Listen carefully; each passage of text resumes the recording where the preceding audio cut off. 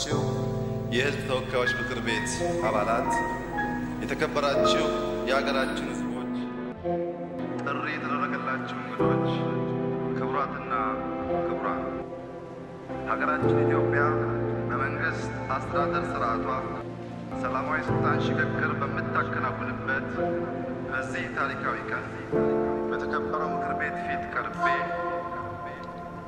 ይህንን ንግግር ለማድረግ ስለበቃው የተሰማኝን ልዩ ክብር ለመግለጽ እወዳለሁ።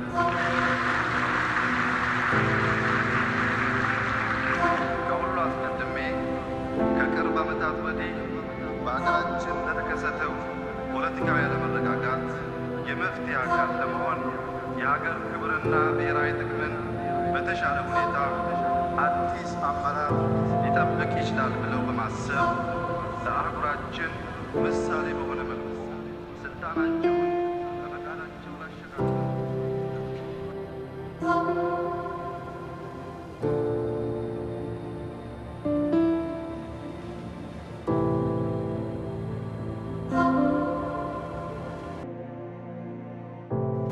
አዲስ ጠቅላይ ሚኒስትር ተመረጠ። ንግግሩን ብታይ የእምነት ሰው እንጂ ፖለቲካ ሰው አይመስልም።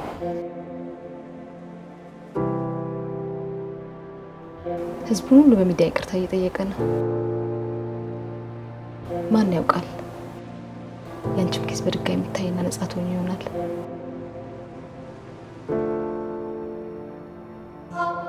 እባክሽ ወንጌል፣ ዛሬ እንኳን ሰዓቱ ነጻ የሆን ተመልከቻት። እንዴት እንደሆነ አላውቅም። ከወትሮ የተለየሽ ነው የምትመስለው። ሰማዩ ጥርት ብሏል። ምናልባት የኛን ተስፋ ለማድረስ ይሆናል ቀኑ እንደዚህ ያማረው። እባክሽ ወንጌል ተስፋ አትቁረጭ።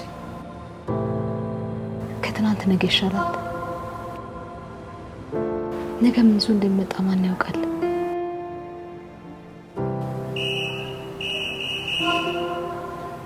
በቃ ነገ አይሻለሁ። አዲስ ነገር ካለ እነግርሻለሁ። የሚሰጥሽን ምግብ ደግሞ በደንብ ብይ። አሁን የበለጠ ጥንካሬ የሚያስፈልገን አሁን ነው በድጋሚ ድምጻችንን እናሰማ የሚገባው።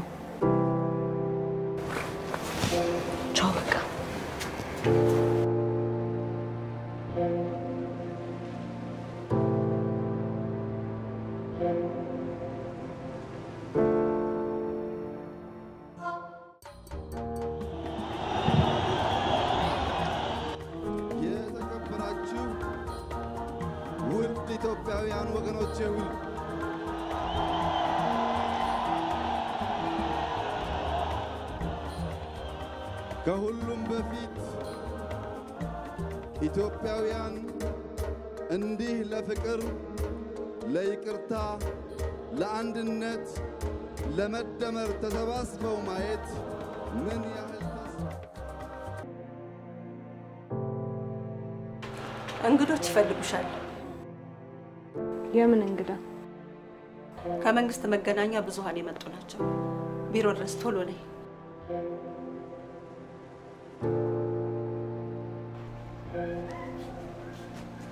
ምንድን ነው ትንሽ ጋዜጠኞች ናቸው መሰለኝ ሊያናግሩኝ ፈልገው ነው። እና ተያቸው እባክሽ። ካጨበጨቡ ጋር የሚያጨበጭቡ እንጂ እውነት ፈላጊዎች አሉ። ይሄ ድል ተገኝቶ ነው? አልጋ ስር የተቀመጠ ሻማ ቀልጦ ያልቃል እንጂ ለማንም ብርሃን አይሰጥም። ተነሽ ተነሽ።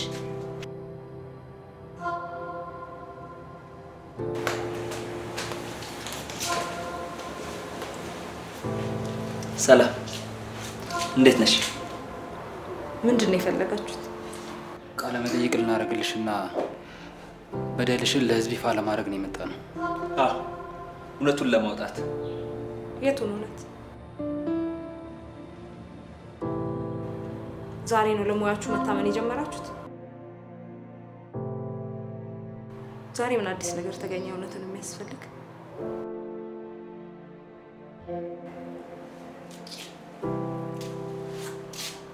እሺ፣ ስንት ትከፍሉኛላችሁ? ፊልሙን ሳትቆራርጡ ማሳየት የምትወዱትንና የምትፈልጉትን የሌለ እውነት እነግራችኋለሁ። ምንድን ነው የምታደርጉት? የስር ጊዜን ታቀልሉኛላችሁ? ኧረ እንደሱ አይደለም። እኛ እውነቱን ብቻ ነው የምንፈልገው። ለሙያችን ታማኞች ነን። የቱን እውነት? እስከ ዛሬ ስንቱ ያለ እውነት ሲሰቃይና ደብዛው ሲጠፋ የት ነበራችሁ? ነው ወይስ ጀማሪ ጋዜጠኞች ናቸው? የኔ እውነት አደባባይ ነው። ምንም የተደበቀ እውነት የለኝም። ክሴም ከሳሼም ግፍ ነው። ሁለተኛ መታችሁ እንዳታስጠሩኝ? የምነግራችሁ ነገር የለም።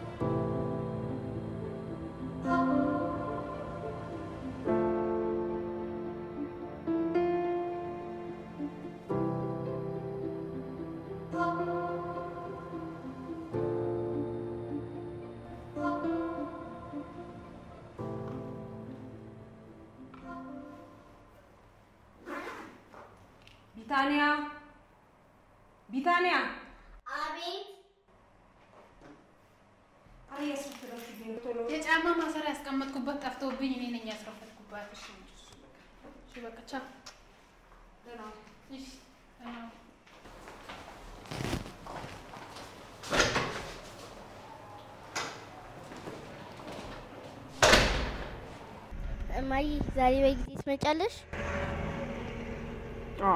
እንደ ጨረስኩ ወደ ቤት ነኝ። እሺ። ሰው በዚህ ዓለም ላይ ለምን ይኖራል ቢታንያ? የተፈጠረበትን ዓላማ ለመፈጸም ስለዚህ ዓላማን ከግብ ለማድረስ ከምን ይጀመራል? ከመታዘዝ። ጎበዝ። የቤት ስራዎችሽን በሚገባ ሰርተሽ ጠብቂኝ እሺ?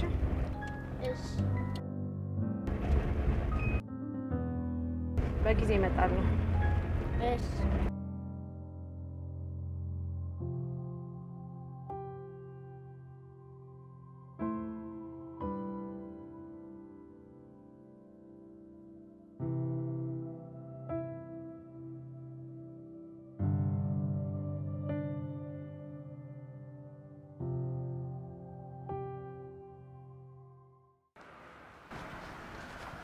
እንደምን አደርሽ? እንደምን አደርሽ ወንድም?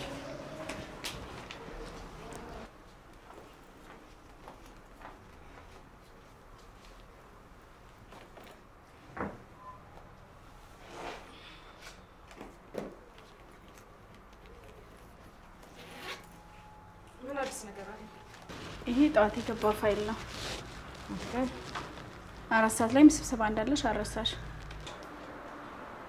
ጥሩ ነው። ቡናም ያስፈልገኛል። እሺ። ሌላው ደግሞ ስንዱን ለመጠየቅ የምንሄደው ዛሬ ማታ ነው። ማናት ደግሞ ስንዱ? ባለፈው እንደውም ወልዳለች ስልሽ ስትሄዱ ንገሪኛለሽ። መዝገብ ቤቷ okay thank you በጣም social life በጣም ርቆኛል። ቡናውን ግን አፍጠኝልኝ እሺ። ከተቻለ ከነጀበናው። hello፣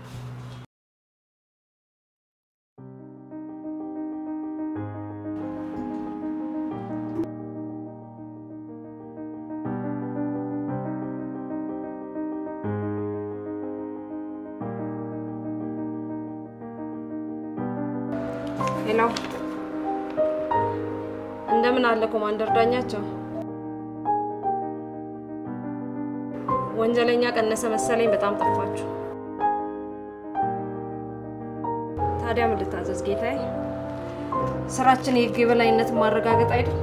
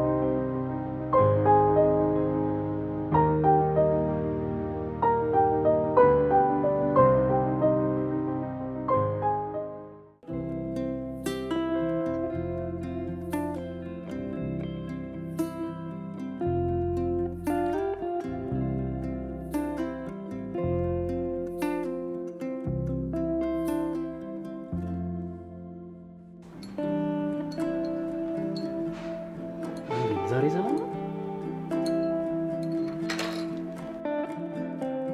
በጣም ግራ የሚያጋባ case ሰጥተውኛል። ኮሎኔል ሱፍ ይባላል። ብረታ ብረት engineering ውስጥ የአንድ department ኃላፊ ነው። በሙስና ተዘፍቆ ነው። በከባድ ወንጀል ነው የተጠረጠረው። ሀገር በመክዳት ምን ምን አድርጎ ነው እባክሽ? ከውጭ ኃይሎች ጋር በመመሳጠር የህዳሴው ግድብ ላይ አደጋ ለመጣል ተንቀሳቅሷል ነው የሚለው ክሱ። ማስረጃ አለ? ከታሰረ ሶስት ወር ሆኖታል። ነገር ግን ፖሊስ እስካሁን ድረስ ማስረጃም ሆነ መረጃ ማግኘት አልቻለም። እና አንቺ ምን ለማድረግ ወሰንሽ? በጣም ግልጽ ነው። መንግስት ሰውየውን አይፈልገውም።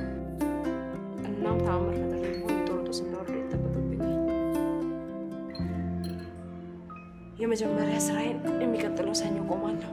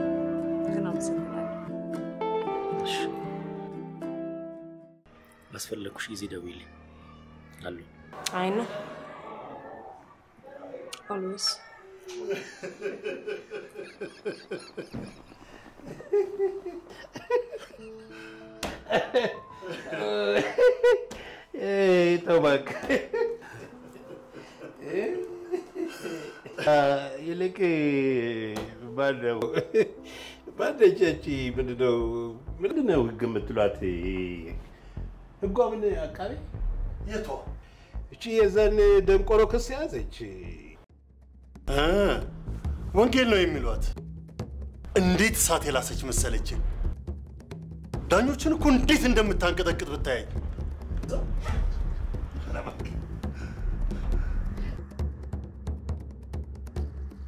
ምን ይህን ያህል ትልቅ ስራ ሰርታለች እንዴ ካሁን በፊት ምን ነካ? ይሄ በቴሌቪዥኑ የምታያቸው የበረሃው በረዶ የከሸፈው ሴራ እያሉ ስም እየሰጡ ህዝብን የሚያፈዙበት documentary ማን የሰራቸው ይመስልሃል? እነዛን case ኦች ስለ ልጅቷ እንኳን ኮማንደር በቂ የሆነ መረጃ አድርሶኛል። የእሷ ጉዳይ ይህን ያህል እንኳን የሚያሳስበን አይመስለኝም።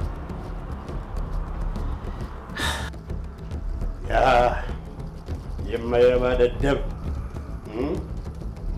ድሮም ያህያ ነገር ሰው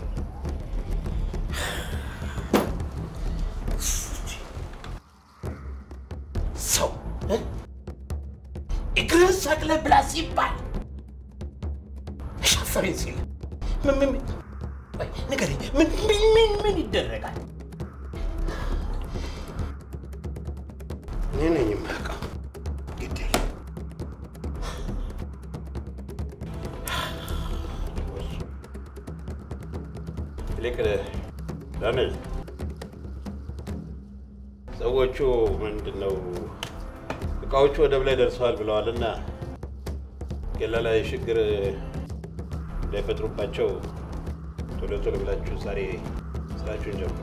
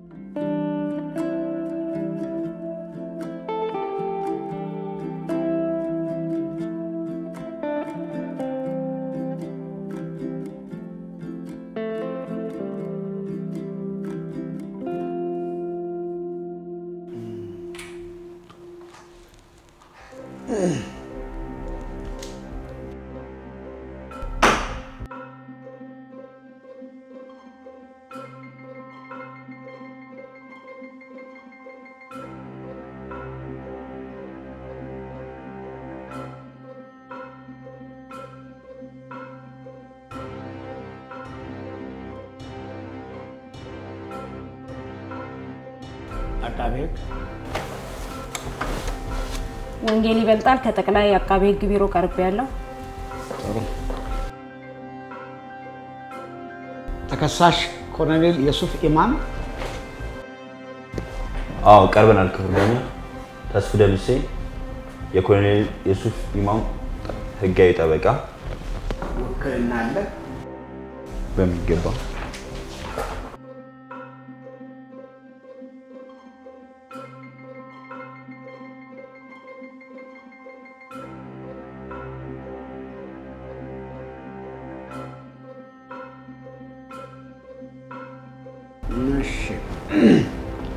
ክሱ ደርሷቸዋል? አዎ ደርሶናል። ክቡር ዳኛ ጥሩ። ክሱን አነበዋል። ከሳሽ የፌዴራል ጠቅላይ አቃቤ ሕግ ተከሳሽ ኮሎኔል የሱፍ ኢማም አድራሻ በስልክ ላፍቶ ክፍለ ከተማ ወረዳ 9 የቤት ቁጥር 1241 የተከሰሰበት ወንጀል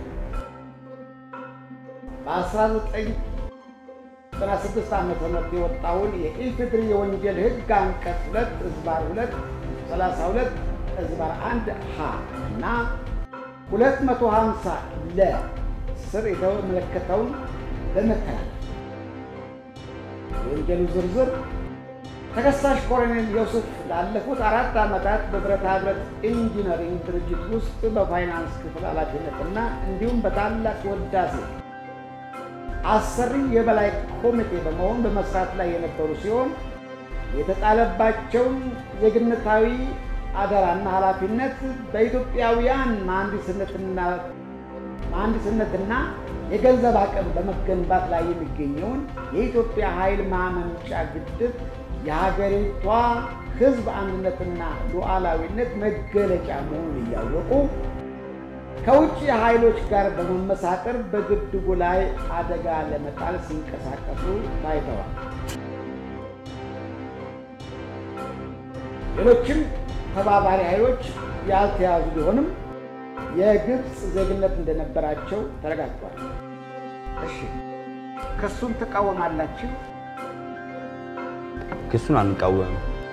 ነገር ግን ክቡር ዳኛ ደንበኛ በተጠረጠሩበት ወንጀል በህግ ጥላ ስር ለሶስት ወር ያህል የቆዩ ሲሆን ግን በነበሩበት ችሎት ምንም አይነት ማስረጃ ተገኘባቸው። እናም ደንበኛ ባለትዳርና የአራት ልጆች አባት ሲሆኑ የመኖሪያ አድራሻቸውም እዚሁ አዲስ አበባ ውስጥ ነው።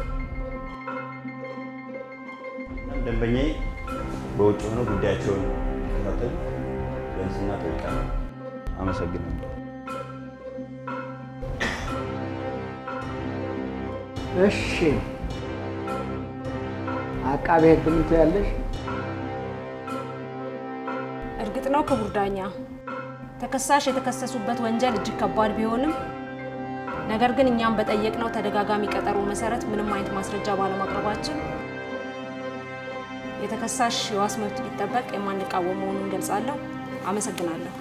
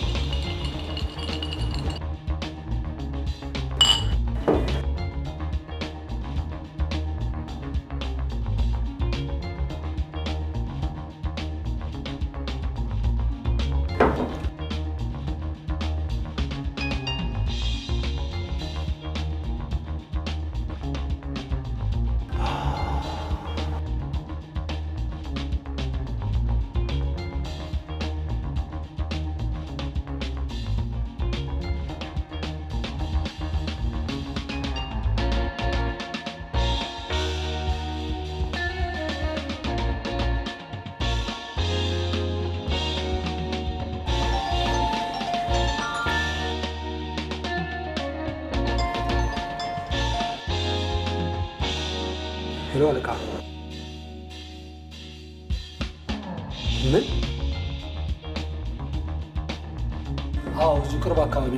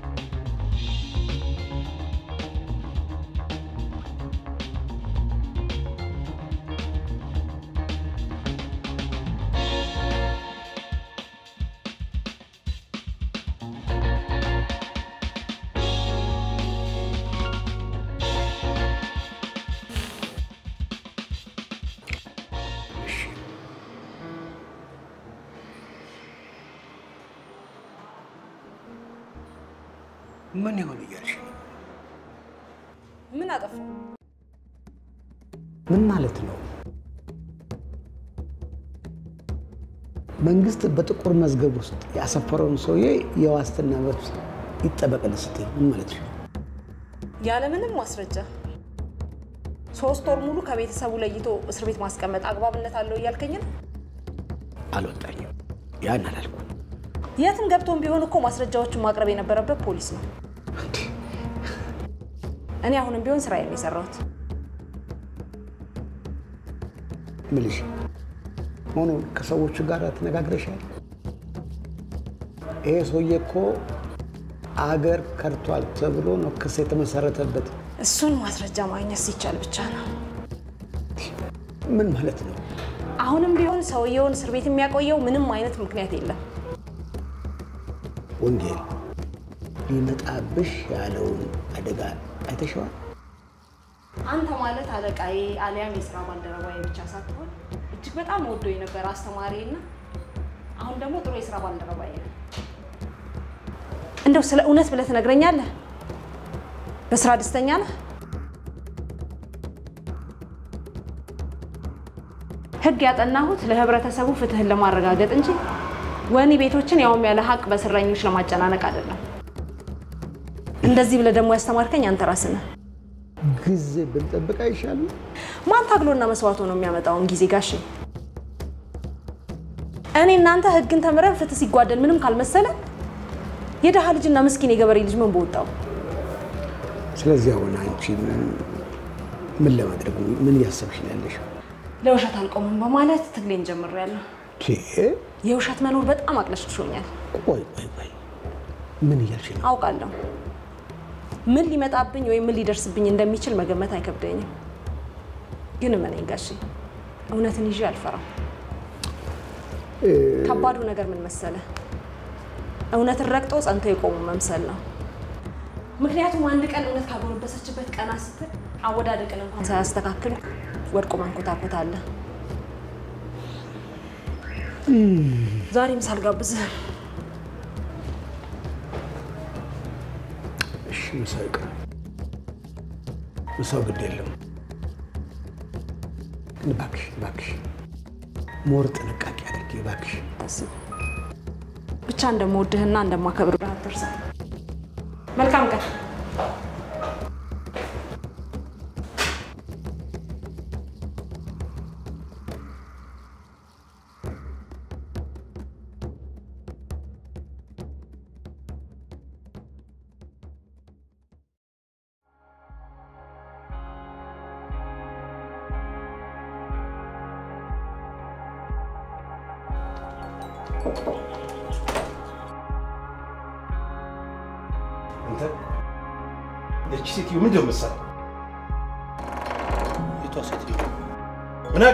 አቅልሃል? ይሄ ማን ነው የምትላት? አምጣ። ይሄ ምን ህግ ነው የምትሏት? አቃቤ ነው ምናምን ህግ የምትሏት? ምን ነው የምታደርገው? ሰውየውን እኮ በነፃ ለቀቀችው።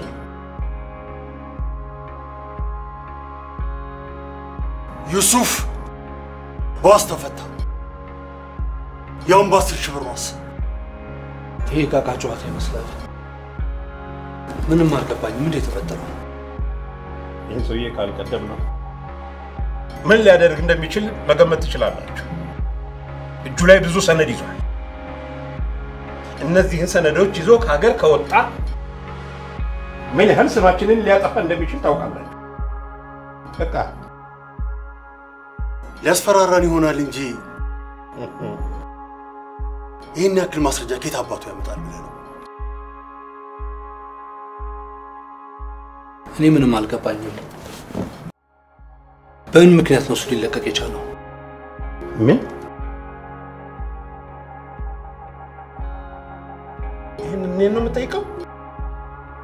ንገረኝ። ይህንን እኔን ነው የምጠይቀው?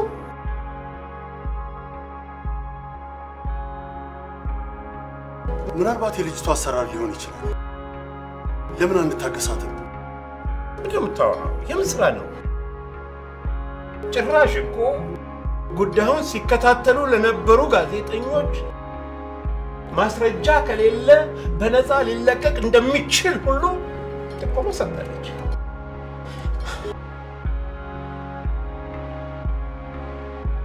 ይቺ ድኩላ በጭራሽ አታደርገው። በጭራሽ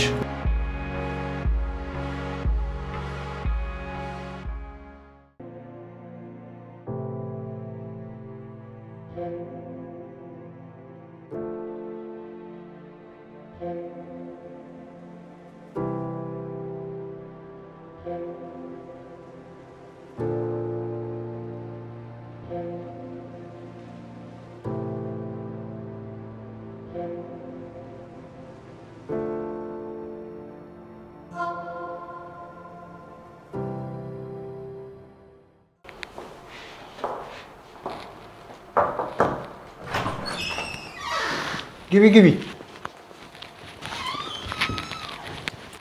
አረፍ በይ። እንዴት አደርክ?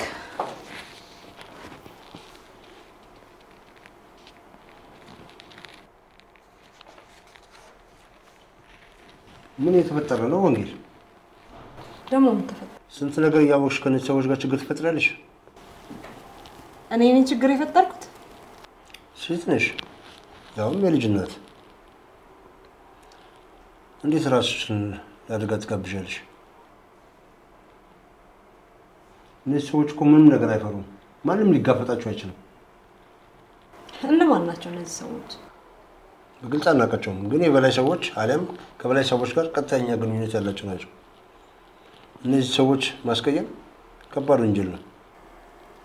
በቃ በፍጥነት የስር ማዘዣ ወጥተሽ ሰውየውን ወደ ነበረበት ቦታ መልሽው።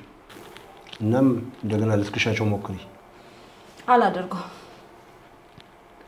ይህንን ህገ መንግስት እኔ አሊያም እናትና አባቴ አይደለም የሚያረቀቅ ነው። እነሱ ባጸደቁት ወረቀት ነው የሰውየውን መብት ያከበርኩት። ወንጌል ያን ያህል የምትተማኝበት ሰው አለ? በጭራሽ ወንጌል እንደ ጓደኛ ምክር ልምከርሽ። አያስፈልገኝም። እንደውም ሳስበው መዘግየቴን ያወቅኩት አሁን ነው። ቆይ ምን ሊያደርጉኝ ይችላሉ? ከሞትኩም ለስልጣን ሳይሆን ስለ እውነት ታግላ ሞተች ብሎ ትውልድ ይዘክረኛል። ይህን ደግሞ ሳስበው ለእኔም ሆነ ለልጄ እጅግ በጣም ኩራት ነው። አመሰግናለሁ። እቺ ማትረባ ከማን ጋር ድብብቆሽ እየተጫወተች እንደሆነ እንኳን አልገባትም። ትግል ከአማራት ለምን ጫካ አትገባም? እናንተ ናችሁ እንጂ እኔ መጀመሪያ መጀመሪያ ዋጋዋ እንዲሰጣት ዋጋዋ እንዲሰጣት ትፈልግ ነበር።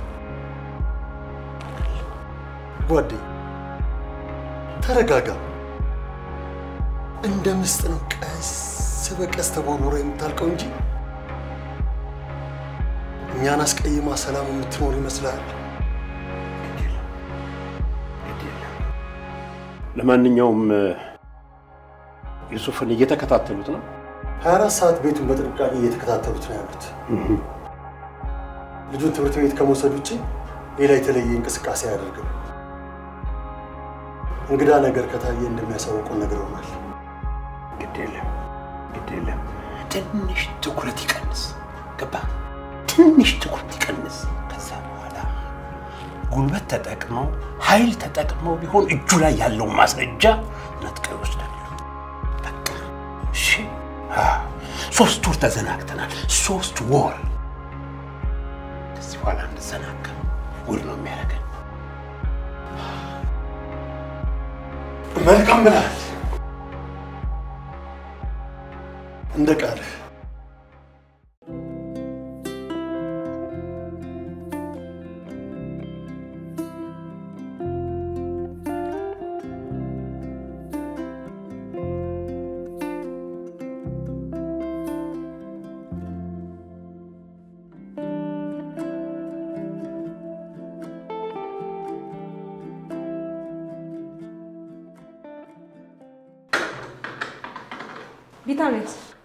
ቀድማ ወጣች።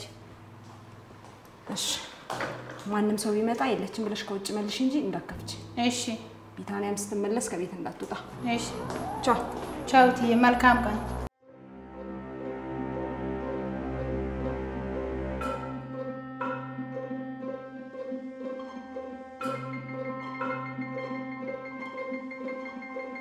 ያቺ ወንጌል ነው።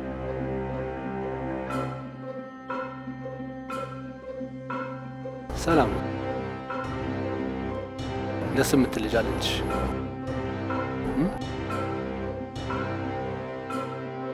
ምነው ፈራሽ እንዴ? አይዞሽ አትፍሪ።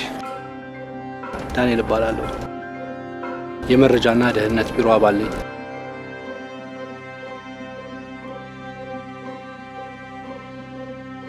ልጅሽ ደግሞ ቁርጥ አባቷ ያሬድን ነው የምትመስለው።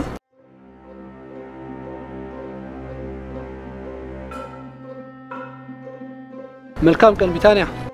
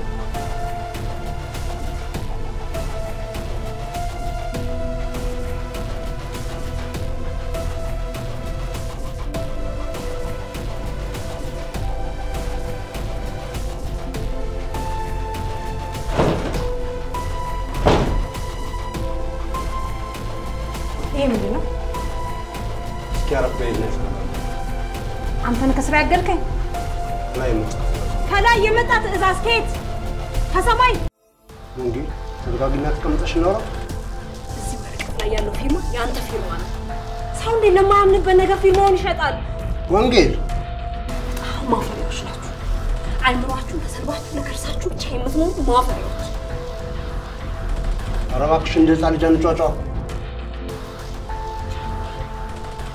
ይቺ ሀገር ምንም ሰው እንደሌላት የተረዳው ሆዳም ብቻ የሞላባት ምድር። ቤቴ ድረስ ሰላይ የላክብኝም አንተ ነህ። ምን ጎሄድ ሁላችንም የያዝነው መንገድ የት እንደሚያደርሰን እናያለን። አሁን በግልጽ ጦርነቱ ተጀምሯል።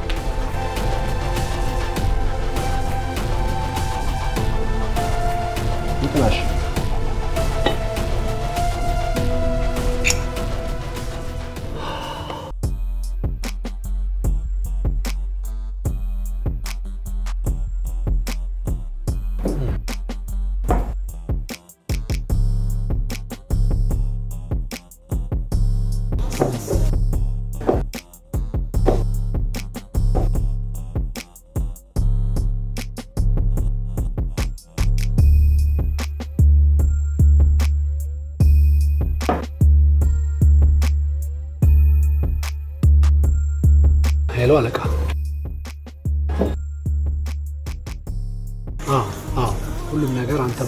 መሰረት ሁሉም ነገር ተሰርቷል። እሺ እሺ፣ ምንም ችግር የለም። ሰሞኑን ደግሞ ሁሉንም ነገር በቁጥጥር ስር እናውለዋለን። እሺ አለቃ።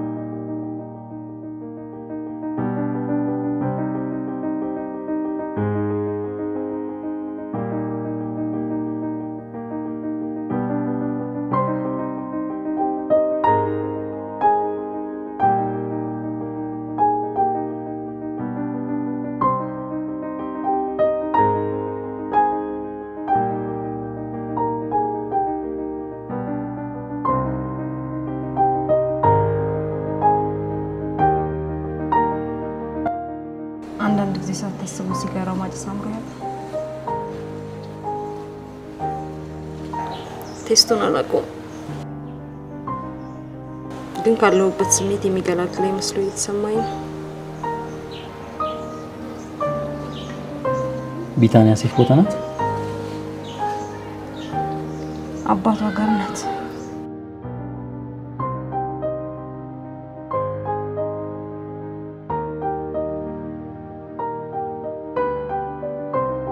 እኔ ነኝ መጥፎ ስሜት ውስጥ ያለሁት።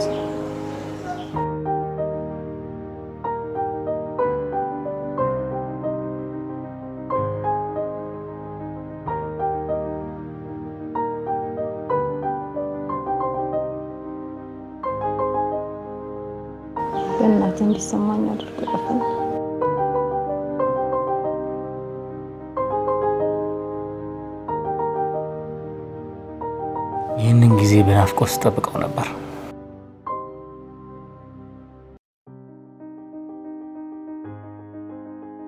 ድሮ ተወደኝ እንደነበር አረሳ።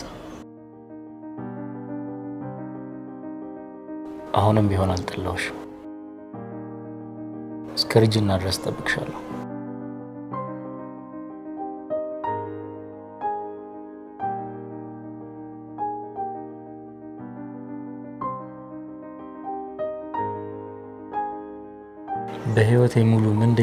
ታውቂያለሽ? ምንድን ነው? ከእኔ የተለየ quality ምን እንዳለው አላውቅም። ለዛውም እንደዛ ህይወትሽን ዘበራርቆ ልጅሽን ብቻሽን እንድታሳድጊ ካደረገሽ ሰው ጋር ፍቅር እንደያዘሽ ምንም የተለየ quality ኖሮት አይደለም። ግን እኛ ሰዎች በተለይ ሴቶች ምን አይነት ችግር አለብን መሰለ? የተሻለ ማንነታችንን ከሚቀበልልን ይልቅ ከኛ እንደሚሻል የሚነግረን እርሱ ያሸንፈናል። እናም አደናቅፎን እስክንወርቅ ድረስ ስንከተለው እንኖራለን።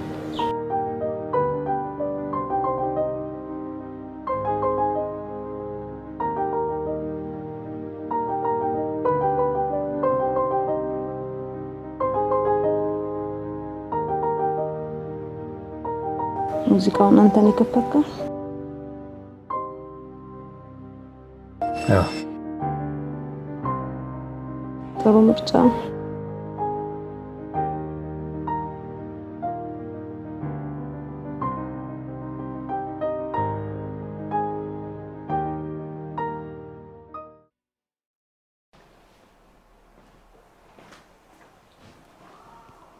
እንዴ ወዴት ነው? ቁርስ ደርሷል እኮ።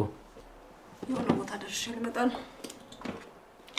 ሳይቀድሙኝ ልቅደማቸው። እሺ የምትሄጂበትን ማወቅ ይቻላል? ኮሎኔሉን አግኝቼ ላናግረው እፈልጋለሁ። አድራሻውስ? ደሞስ ፈቃደኛ ይሆናል?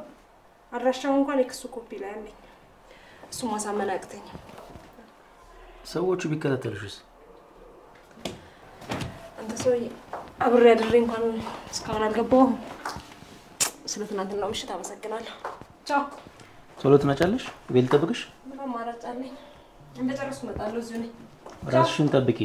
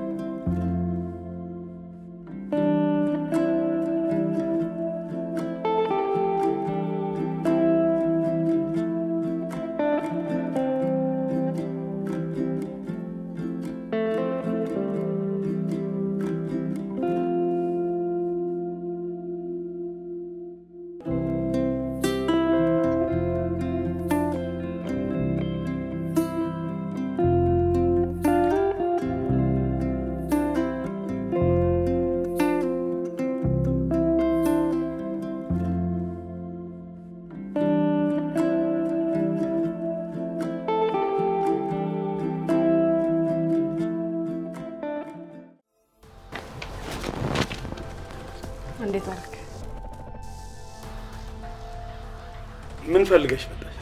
አውቃለሁ በቤት ድረስ ያለ ፈቃድ መምጣቴ ያስደነግጣል። ግን እመነኝ ኮነሬል፣ ምንም አማራጭ አልነበረኝም። በእርግጠኝነት ስልክ ተጠልፏል። የኔም ለዛ ነው እዚህ ድረስ ራሴን ደብቄ ሳልነግርህ የመጣሁት። ስታይኝ ትንሽ ልጅ ይመስላሉ። እባክህ ኮነሬል፣ ምንም አማራጭ የለንም። እኔንም ከስራ አግደውኛል። ቤቴ ድረስ ሰው እየላኩ እያስፈራሩኝ ነው።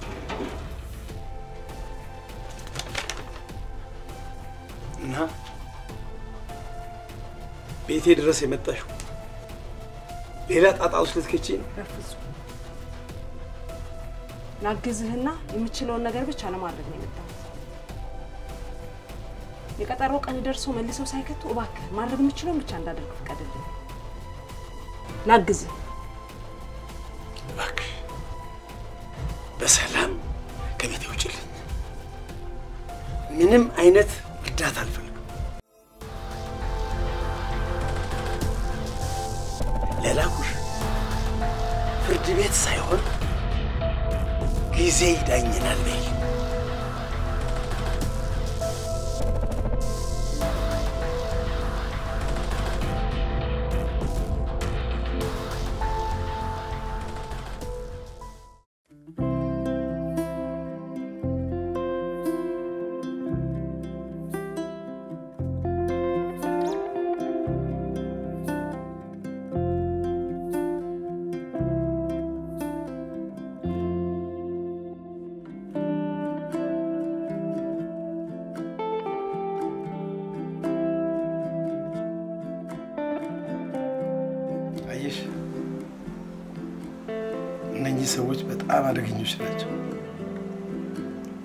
እኔ ለአመታት በችግር አብሬያቸው የታገልኩ የትግል ጓዳቸው ነኝ።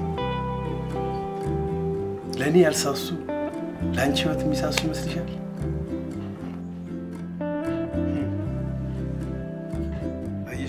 ቁራሽ እንጀራቸውን አልለቀው። ይሄ የምታየው ቤት እንኳን መንግስት የሀገር ሀብት ሲሰረቅ ማየት አልችልም። ያመኛል ባልኩ ነው የሁሉ ሌባ የትኛው የሀገር ተቆርቋሪ እንደሆነ ለመለየት ከባድ ትክክለኛ ምክንያታቸው ምንድን ነው? እንደሚሉት እኔ ለጥቅሜ አገሬን ምከዳ መስልሻል? እኔም እንደዛ ስላልመሰለኝ ነው ራሴን ችግር ውስጥ እየከተትኩ ያለሁት። ሁላችንም ባለንበት ዝም ማለታችን ይቃያልኩ ነው። ይሄ ግድብ የኔ አይደለም። ምናልባት ያንቺም ላይሆን ይችላል፣ የልጆቻችን ሰው እንዴት ከልጁና ከልጅ ልጁ ይህን ያህል ይዘርፋል? ይህ የተቸገረ ህዝብ እኮ ነገ ያልፍልኛል ብሎ እየራቦ ባጠረቀመው ሳንቲም ቦንድ ሲገዛ ቆይ ምን ያህል ሆድ ቢኖርሽ ነው በላብሽ ሰርተሽ የምትበይው የማይጠረቃሽ? ምን ሰርተው ነው ወንጀላቸውን ለመሸፈንስ እየሞከሩ ያሉት? ከሰዎቹ ጋር የግድቡ አሰሪ ዋና ኮሚቴዎች ነው። ግን ለግድቡ የተጠቀሙት ብረት ከደረጃ በታች መሆኑን ለሁላችን የደረሰን ወረቀት ከማ ከማን ይደርሳል? ከኢንጂነሩ። ነገር ግን አቤት ስል አርፈ ተቀመጥ ተባልኩ። ያልደረስኩበት ቢሮ የለም። ለካ ለነገሩ እኔ ነኝ ባዳ። ሌላ ሁሉ የድርሻውን እየወሰደ የሚሰራውን ተንኮል፣ ኃጢአት፣ ወንጀል ትክክል ነው እያለ ነው ያማከርኳቸው ሰዎች ሁሉ ይህን ነው ያረጋገጡ። እንደማልተዋቸው ሲያውቁ እኔን ከግብፅ ጋር ደምረው ግድቡን ሊያፈርሰው ብለው ከአሸባሪ ጋር ቆጠሩኝ። ኢንጂነሩን በግል ለማነጋገር ሞክሬ ነበር ከአንድ ሁለት ለምን እንደሆነ አላውቅም። ፈቃደኛ አልሆነም። ለምን? እሱ ራሱ አይደል እንደ ደብዳቤ የሚጻፈው? አየሽ፣ ሁሉ ነገር አንቺ እንደምታስቢው ቀላልና ግልጽ አይደለም። ዛሬ አንድ ወንጀል ሲሰራ ያየ ሰው ይጠቁምሽና ነገ አንቺ ጉዳዩን ለመከታተል ደፋ ቀና ስትይ በሌላ ጎራ ተሰልፎ የልማት አደናቃፊ ብሎ ይሞግትሻል።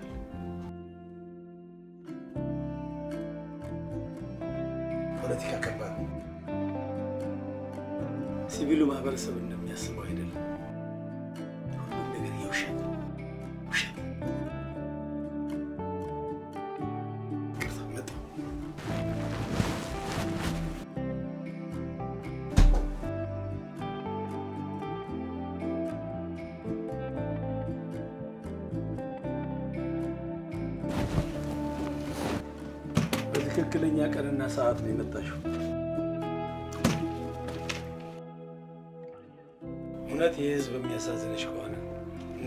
መረጃዎች ተጠቅመሽ ለህዝቡ ይፋ አድርጊ። ግፍ እንዲቆም የበኩልሽን አስተዋጽኦ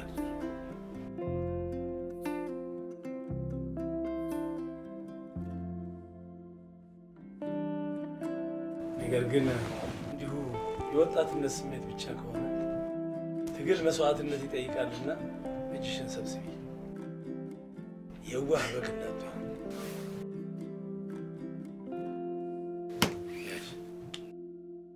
ምንድን ነው? ከእኔ ጋር ሲጨቃጨቁ የቀረ ጽሑፍ ነው። ስራ ከመጀመርሽ በፊት ብዙና አስተማማኝ ኮምፒውተሮች ሳይቀድሙሽ ቅደሚያቸው፣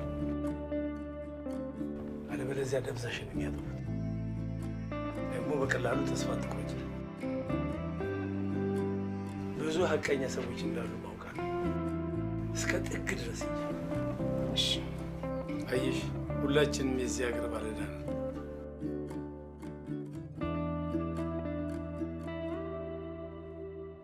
ስላመንከኝ በጣም አመሰግናለሁ። አንድ ቀን እውነት ቀን ወጥቶላት በአካል እንደምንገናኝ እርግጠኛ ነኝ። በሚገባ ሌላ መውጫ በር አለ? አዎ፣ በዚህ በውስጥ በኩል አስታወቅ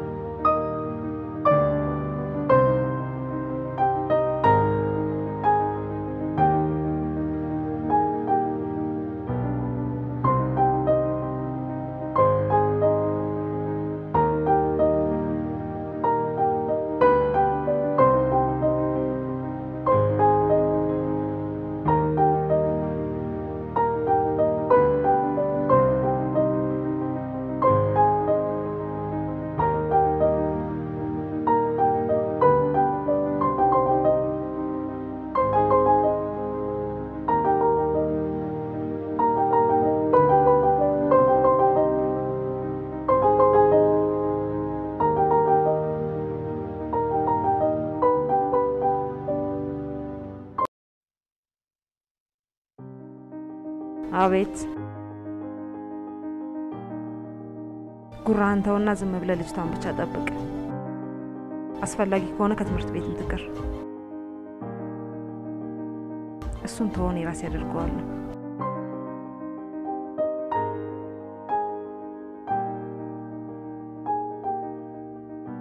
የማይረባ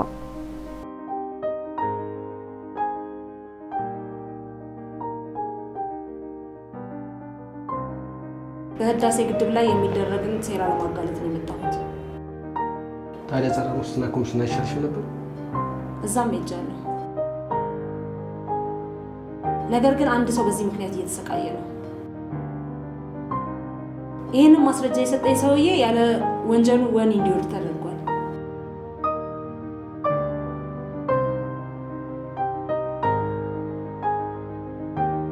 በዚህ ማስረጃ ምን ልታደርጉ? መቼም ሰውየውም ሆነ ጉዳዩ ፍትህ ይፈልጋል። ስለሰጠሽን ጥቆማ እናመሰግናለን። ቀጣዩ ስራ የሚሆነው የእኛ ነው። ያንቺን ጨርሰሻል። እናመሰግናለን። መልካም። መቼም በሀቀኝነት ህብረተሰቡን ታገለግላላችሁ ብዬ ተስፋ አደርጋለሁ። አመሰግናለሁ። እኔ የምልሽ አለባበስሽ የእምነት ሰው ይመስላል። ምን ነው ጥፍር ቀለሙን ረሳሽ?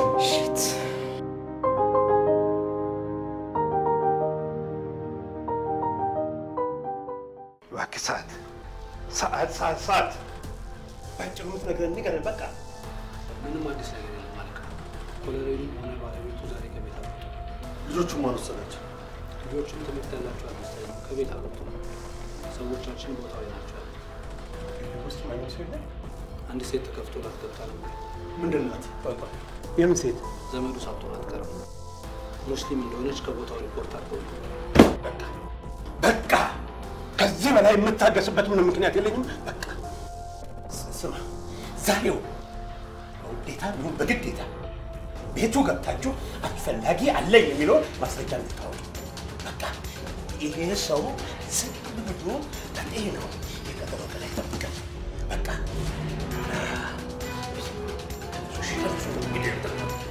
ቆይ ቆይ ቆይ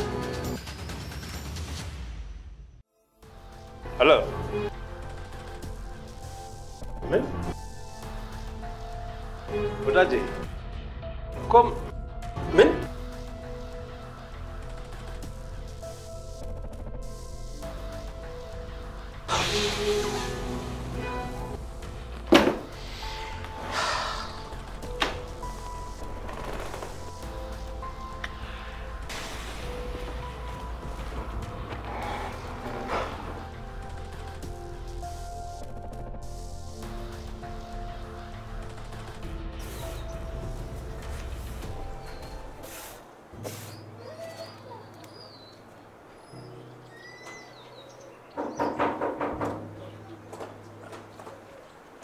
ይህን ቤት ታውቂዋለሽ እንዴ?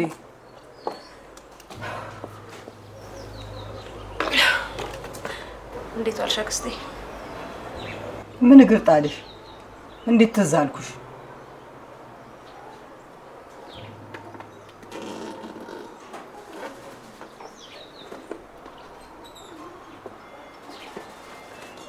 እስከ ዛሬ መጥቼ ስላልጠየቅኩሽ ካሳየሆነ ምንድን ነው? ተቀበይኝ አክስቴ።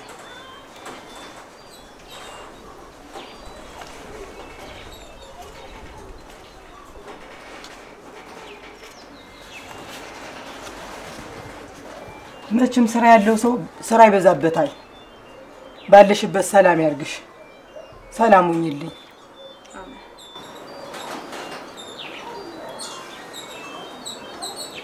አክስቴ መቼም ጥሩም ሆነ መጥፎ ከአንቺ ውጭ ዘመድ የለኝም።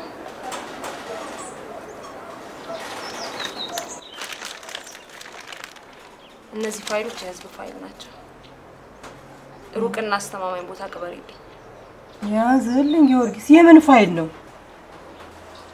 አሁን ጊዜ የለኝም አክስቴ። በህይወት ካለው መጥቼ ይቀበልሻለሁ። አለበለዛ ደግሞ ጊዜ ሲቀየር ለባለ ጊዜ ስጭልኝ። አውቃለሁ ቃልሽ እንደምጠብቅ።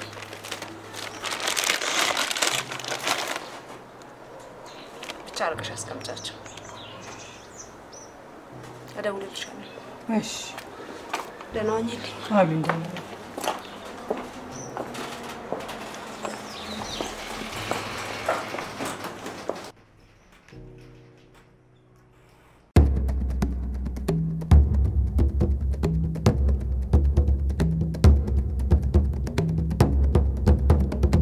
እንዴት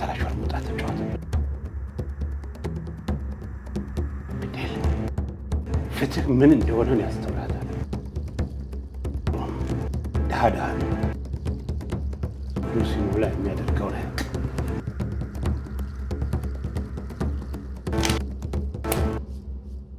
ሄሎ፣ ያቺ በሮሮ ካለችበት ፈልገህ ፊቴ እንድታቀርብልኝ እፈልጋለሁ። ይሄ ሌሊት ሳይነጋ ይሄ ሌሊት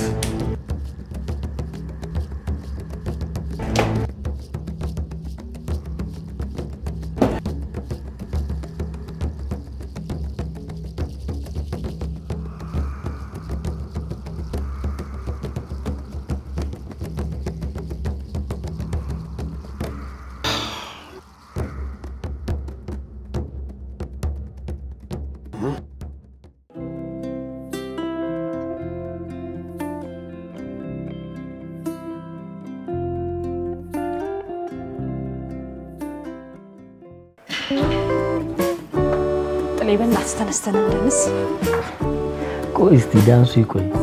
ምንድን ነው ይሄን ያህል ያስደሰተሽ ነገር? እነዚህ ሌቦችን ዛሬ ሰራሁላቸው። ወንጌል አሁን በይፋ ትግሏን ጀምራለች። ማንን ፈራ? የተቃዋሚ ፓርቲ ነን የሚሉትን ሳይቀር ነው ስለ እነዚህ ሰነዶች አግኝቼ ያናገርኳቸው። ስለዚህ ምስኪን ሀገር ስል ከዚህ በኋላ ወደኋላ አልመለስም እንደንስ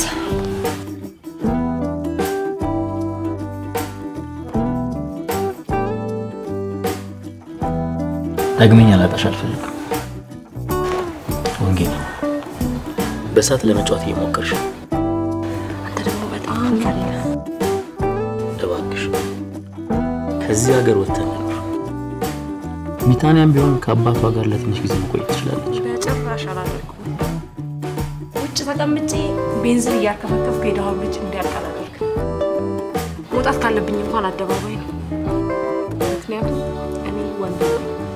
ታጋይ ወንድ እና እንደዚህ ወገኖቼ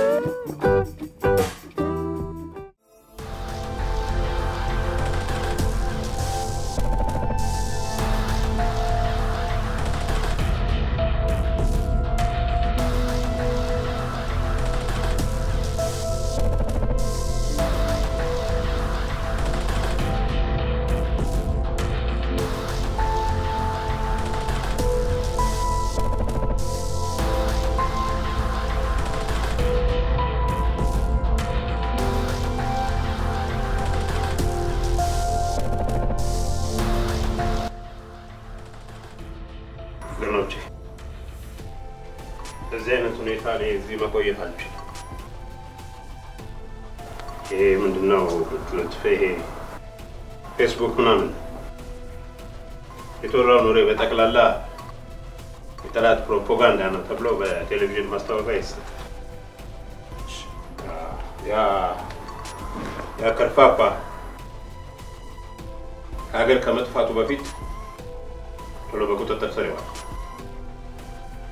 እሺ ሴቲቱን ለማጥመድ የሚያስችል ደረጃ ደርሶናል። ጠዋት በቁጥጥር ስር እናውላታለን። ምድረ ከርፋፋ! አሁን ደግሞ የካቶሊክ ልብስ ለብሳ መጣች ብላችሁ ለፏታ ላኩጣልኝ። ዳንኤል ውጣልኝ።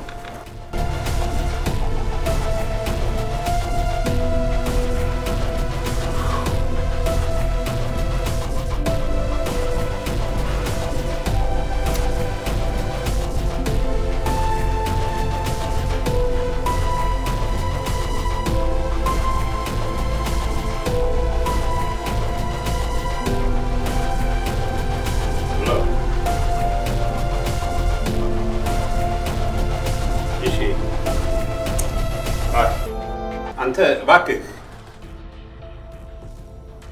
ዶላር የማጠግብ ሰው እኔ- አሁን ከመሸ ምን ላደርግ እችላለሁ? ንገረኝ እባክህ ተው። ተወኝ በቃ።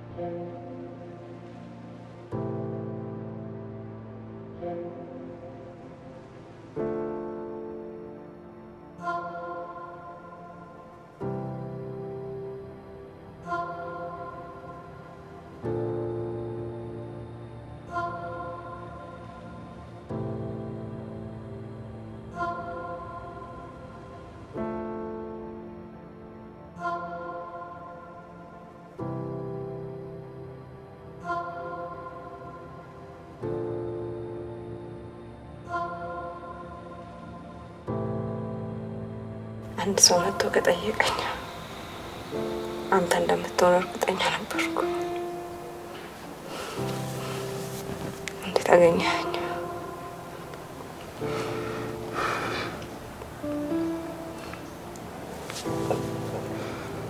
በብዙ ውጣ ውረድ ያልገባሁበት ቢሮ የለም። ያላናገርኩት የመንግስት ባለስልጣን የለም።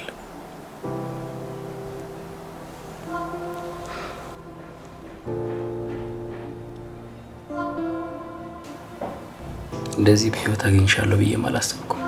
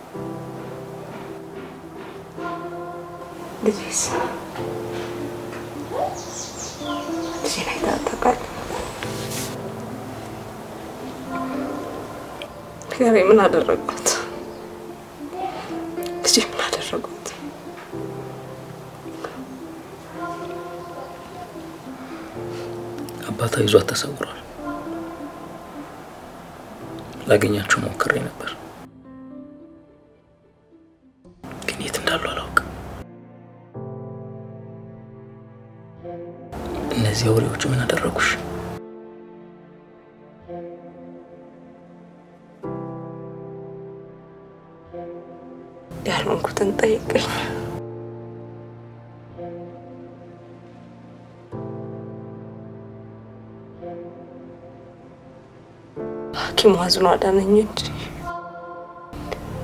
የማስታወስ ችሎታዬን በኤሌክትሪክ ሊነጥቁት ነበር።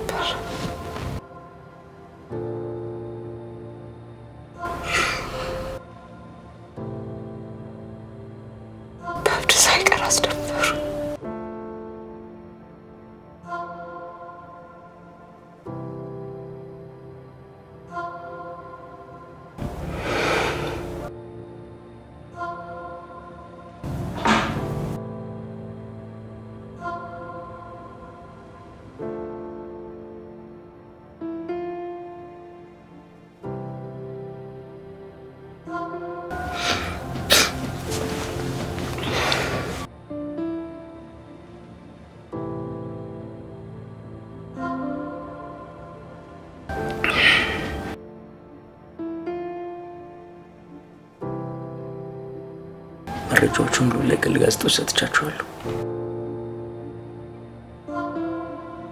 ጋዜጦቹም ስለ አንቺ እያወጡ ነው። ብዙ ሰውም አለች እያለ እየጠየቀ ነው። ሰላማዊ ሰልፍም እየወጡ ነው። ከውጭ የመጡ የሰብአዊ መብት ተሟጋቾችም አንቺን ሊያዩ እየጠየቁ ነው።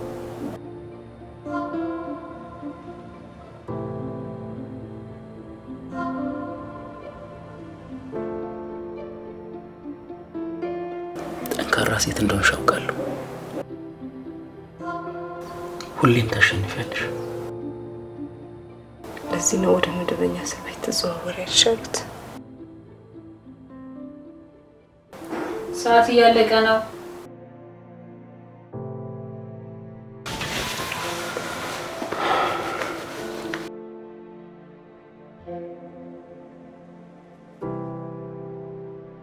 ካምፓስ እያለን ትዝ ይልሻል?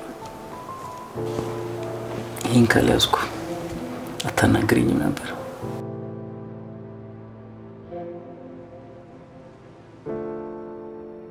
አንቺ ማንምና ምን የሚለውጥሽ ደካማ አይደለሽ። በስቃይ ውስጥ ሆነሽ እንኳን ውበትሽ ይታያል። ውበትሽ ደግሞ ጥንካሬ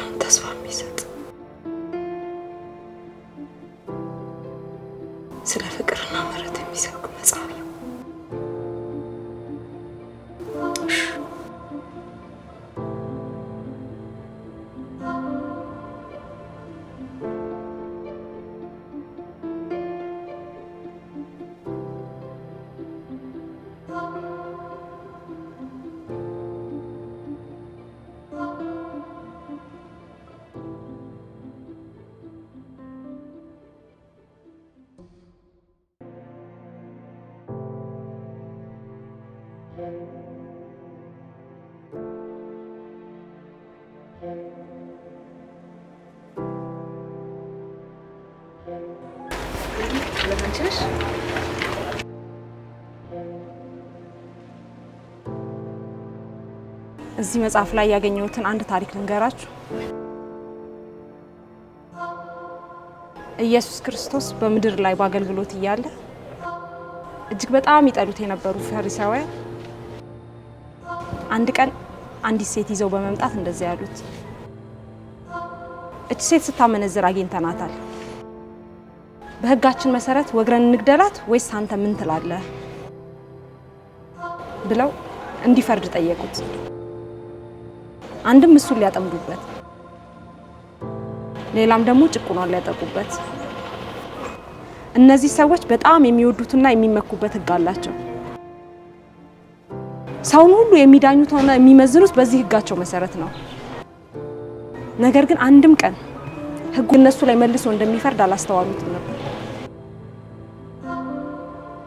እናም እንዲፈርድ የተጠየቀው ዳኛ የልባቸው ክፋት ገባውና በሕጋቸው መሰረት ዳኝነትን ሰጣቸው። ሕጉ አትግደል ይላል። እነርሱ ሁሌም በሕጉ ጥላ ስር ተከልለው ይገድላሉ። ሕጋቸው አትስረቅ ይላል። ነገር ግን የለየላቸው ቀማኞች መሆናቸውን ሕጋቸው ለሕሊናቸው ፈረደባቸውና ተከሳሹንም ሆነ ሴቲቱን ጥለዋቸው ጠፉ።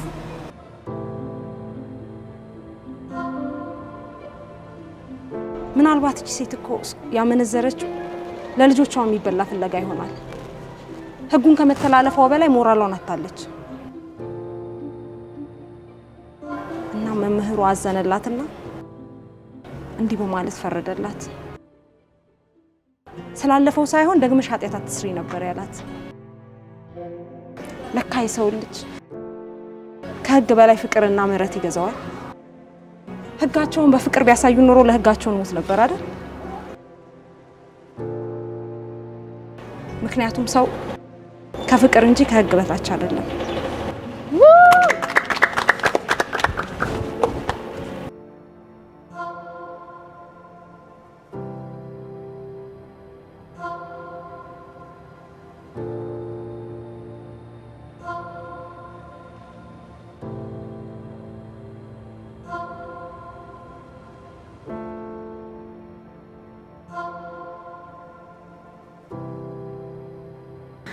ዛሬ ነው አይደል ጋዜጠኞቹን የምታገኛቸው?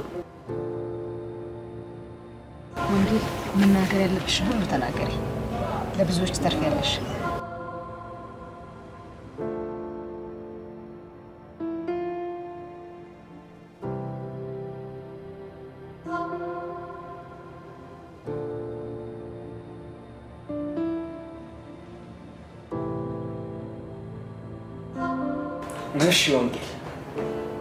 ከመጀመሪያውን ጀምር። የቱ ነው መጀመሪያ? እስር ቤት ከገባሽበት ጊዜ ጀምሮ የደረሰብሽን ህዝቡ ማወቅ ያለበት አይመስልሽም? እስኪ ከተያሽበት ቀን ጀምሮ ያጋጠምሽ ነገር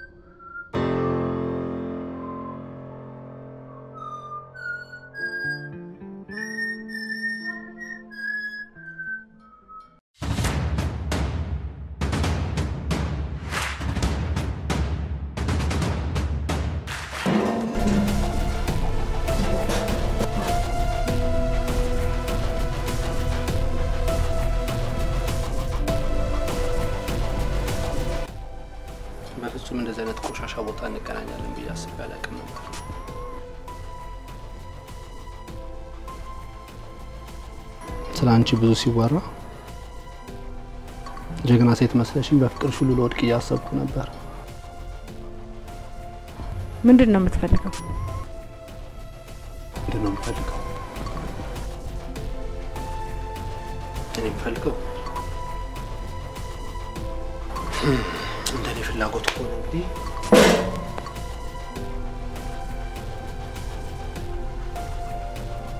በምሽት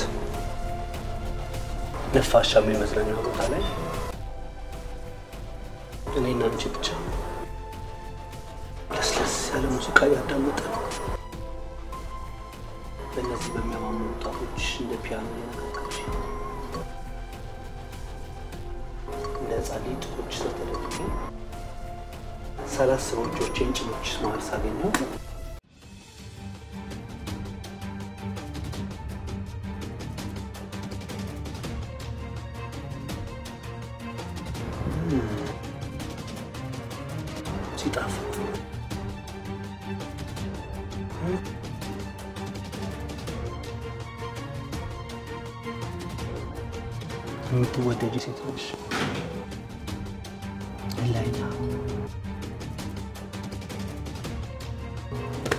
ዋጋ አለው? የማይነኩ ሰዎች ጋር ደረሽና መጥፎ ሳለ የተገናኘ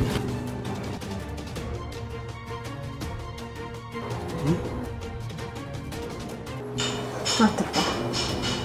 ከኔ ምንም ነገር አታገኝ። ለምንድን ነው አንቺ ልረዳሽ እንደሆነ ሊታይሽ አልቻለም?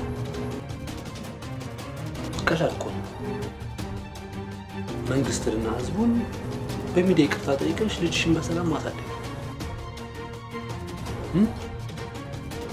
በቃ የልማት አደናቃፊዎች ናቸው በጥቅም ገዝተው። አሁን ግን ተጸጽቻለሁ ማለት ብቻ ነው ከአንቺ የሚጠበቀው።?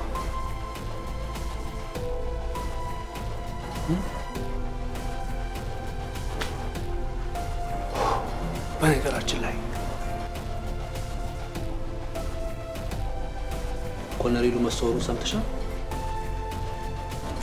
ሳይወጣም አይቀርም። ከዚህ በላይ ማድረግ የሚችል ጀግና እንደሆነ መጀመሪያ ነበር ጀግና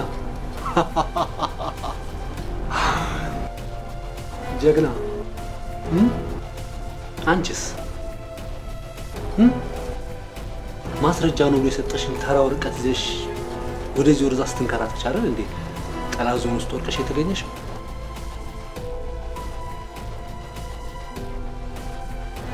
የሚቀር ይመስላል።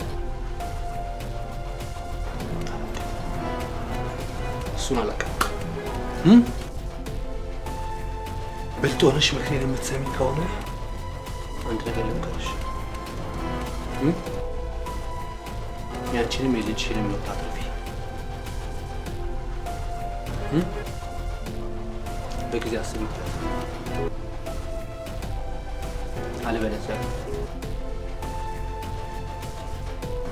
ራስሽን አንበሶች መሀል እንደወደቀች ሚዳቋ ቁጠሪው። ቀላል ሰውየው የሰጠሽን ማስረጃ ለእኛ መልሽና ህይወትሽን አትርፊ።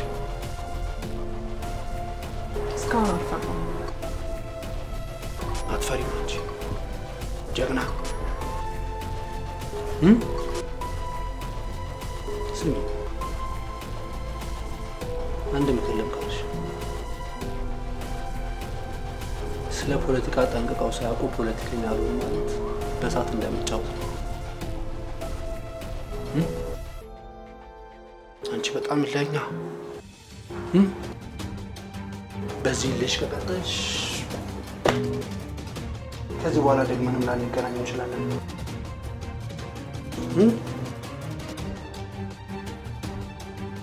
ፈጣሪ መሀል ይጣልሽ።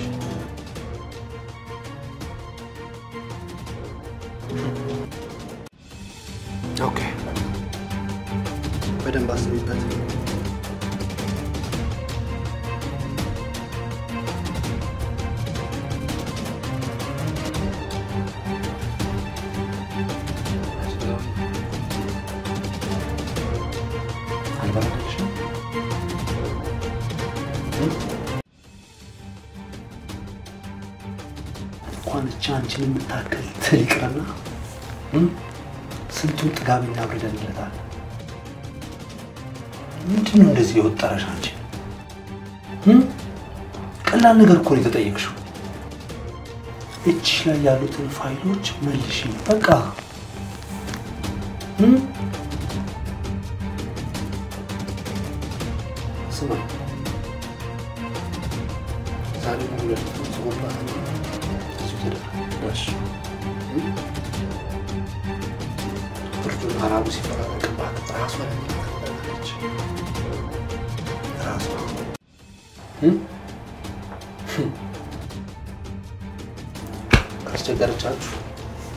ያን ረዳቀመማት እሺ አውቃልሻለሁ። እኔ ዳንኤል አይደለሁም።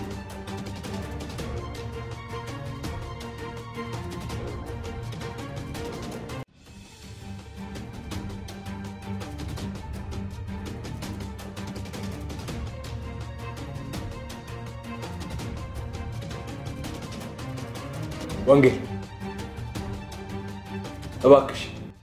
የደረሰብሽን ከመጀመሪያ ጀምረሽ ንገሪንና ለህዝቡ ይፋ እናደርገው። ጠቅላይ ሚኒስትሩም ቢሆን ብዙሃኑም በይቅርታ ከስር እየፈቱ ነው። እዚህ ድረስ መጥተውም በግንባር ይቅርታ ሊጠይቁሽ እንደሆነ መረጃ ደርሶናል። ከዛ በፊት ግን በአንቺ ጉዳይ ላይ ፕሮግራም መስራት አስበናል። የኔን ስቃይ ለህብረተሰቡ ማሳየት ምንድን ነው ጥቅሙ? አንደኛ በደልሽን በይፋ ህብረተሰቡ ያውቀዋል። ሌላው ደግሞ እነዚህ ሰዎች ምን ያህል ጨካኝና አውሬ እንደሆኑ ማህበረሰቡ በቀላሉ መረዳት ያለበት ይመስለናል። አዎ አሁን የለውጥ ጊዜ ነው። አየህ፣ አንተ ራሱ ለውጥ ማለት ምን ማለት እንደሆነ አልገባህም።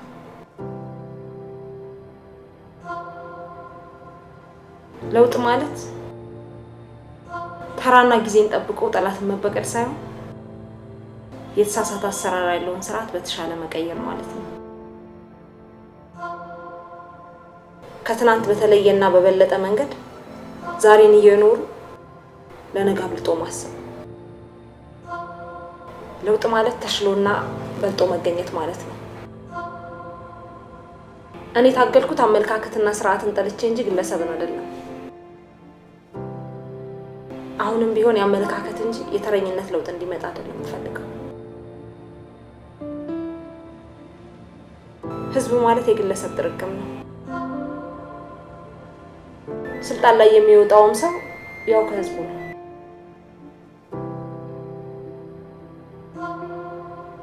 ሩዋንዳ ውስጥ ቱትሲም ሆኑ ሁቱ ሁለቱም ጎሳዎች የሩዋንዳ ዜጎች ናቸው። ጎጆም ተጎጆ ነው። ስለመተላለቅ ለመማር የግድ እንደ ሩዋንዳ ገብረቱ ቀምሰን መሆን የለበትም። እና እነዚህ ሰዎች መጠየቅ የለባቸውም እያልሽኝ ነው? እንደዛ አላልኩ። ማንም ሰው ላጠፋው ጥፋት በህግ መዳኘት አለበት። እና አሁን ለምን አትነግሪኝ? የኔ ስቃይ ህብረተሰቡ ምን ያስተምረዋል?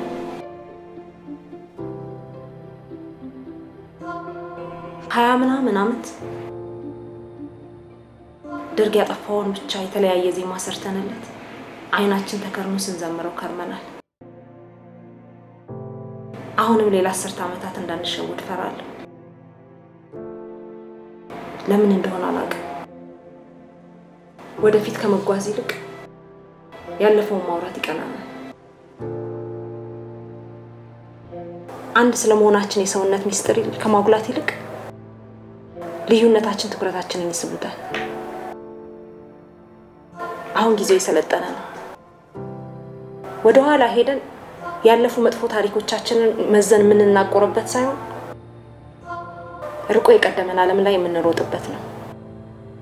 እሱን ትክክል ነሽ። የጠቅላይ ሚኒስትሩም አስተሳሰብ ነው። አመለካከቱ ያንተና የሌላውም ሲሆን ነው መሬት ላይ መውረድ የሚችለው። በአንድ ሰው ጭንቅላት መቶ ሚሊዮን ህዝብ ማሰብ አይችልም። የእያንዳንዳችን የቤት ስራ ነው። አለበለዚያ እርስ በርስ ተላልቀን ሰው የሌለው መሬት እንዳናተርፈራለን። እሺ አሁን በየቦታው እየተቀጣጠለ እና እየፈነዳ ስላለው የብሔርና የክልል ነገሮችስ ምን የምትይው ነገር አለ? ብሔር ማለት ምናልባት አንድን ባህልና ቋንቋ በጋራ የማወቅ ምስጢር ይመስለኛል። ለረጅም ዓመታት በአንድ አካባቢ የመኖር ትርጉም እንጂ ሰው የመሆን ምስጢር አይደለም። ሰው ሆነን ስለተፈጠርን ሰው ብቻ ለመኖር እናስብ። እኛ የመሬት እንጂ መሬት የኛ ሆኖ አታውቅም። ከአፈር ተሰራን እንጂ መሬትን ጭቃ ጠፍጥፈን አልሰራናት። ስለዚህ መልሰን መሬት መሆናችን ስለማይቀር መሬት ሊያጣላን አይችልም። የኔ ልትል የምትችለው መሬት ራሷ ናት። በጣም ግሩም መልእክት ነው። ለጠቅላይ ሚኒስትሩስ የምትዩ ነገር አለሽ? ለጠቅላይ ሚኒስትሩ አዎ፣ ለጠቅላይ ሚኒስትሩ